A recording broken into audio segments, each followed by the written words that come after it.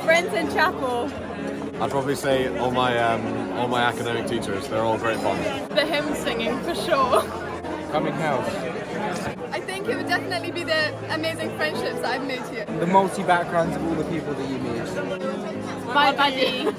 the unaccompanied uh, expert with my Duffus boys, which was really funny. Uh, a lot of variety was in there. We got lost a few times because everybody was disagreeing on where to go, but it was definitely character building and, and bonded our friendship a little bit more.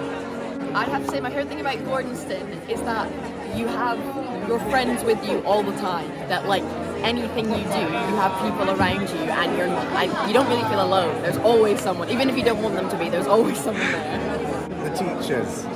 I would say my favourite thing about Gordonstoun is the fact that uh, such a big community, but we're all so close together and we're so connected and we rely on each other. Teachers, staff, and just my friends as well.